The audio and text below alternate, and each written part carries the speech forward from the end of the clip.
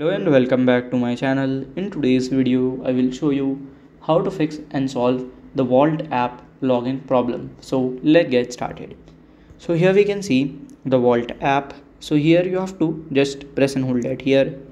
Click on this I button, it will open the app info. So from here, you have to scroll down, click on this as a storage option. Then here you have to clear the caches and then open the app again and it would be like uh, fixed. So this is how to fix and solve the Wolt app login problem. And if you find this video helpful make sure you like subscribe and share the video. Thank you for watching